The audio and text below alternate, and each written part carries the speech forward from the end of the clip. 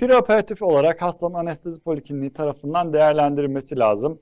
Kardiyovasküler sistemin değerlendirilmesi, solunum sistemin değerlendirilmesi vesaire vesaire. Çok önemli değil ama burada mesela arkadaşlar kullandığı ilaçlar. Yani hastanın kullandığı ilaçları belirleyeceğiz ve bu kullandığı ilaçlara göre de biz hastanın ameliyat öncesinde kesimlerini falan karar vereceğiz arkadaşlar. İşte bu hastanın ameliyat öncesinde özellikle kanama ihtimali nedeniyle bir takım ilaçların kesilmesi gerektiğini bilmemiz lazım. Onun dışında başka ilaçlar da var. Mesela antianjinalleri, kalp hastalıklarıyla alakalı olan durumları kesmiyoruz arkadaşlar. Hatta sabah bile verebiliyoruz. Ama onun dışında antidiyabetikleri falan ilaçları bir, o sabah almasına gerek olmuyor.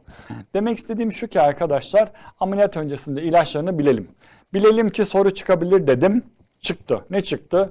Operasyon planlanan bir hastada hastanın kullandığı ginseng. Tamam mı? Ginsengin ameliyattan bir hafta önce kesilmesinin önerilme nedeni nedir diye sordu. Ben de nedir acaba ginseng diye düşündüm. Hiç de bilmediğim için.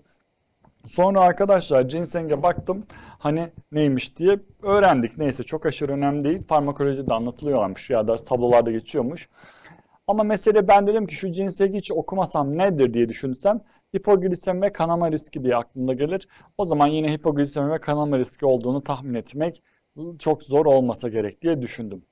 Fizik muayene yapılıyor, hastanın problemi var mı yok mu diye kontrol ediliyor. Onun dışında bir de fizik muayenede çok önemli bir şey var arkadaşlar. Hastanın e, zor entübasyon mu, kolay entübasyon mu olduğuna karar verilmesi gerekiyor. Burada kritik olan şey bir, Mallampati sınıflaması. Mallampati sınıflamasına göre 1 iyi, 4 kötü arkadaşlar. Bu bir. İkincisi hep aklımıza şey gelir. Şu mesafe, triomental mesafe, şuradan şuraya olan mesafe kısaysa zor entübasyondur arkadaşlar. Hep o kısaysa daha kolay entübe edileceğini, o kısa mesafenin geçirebileceğini düşünülür.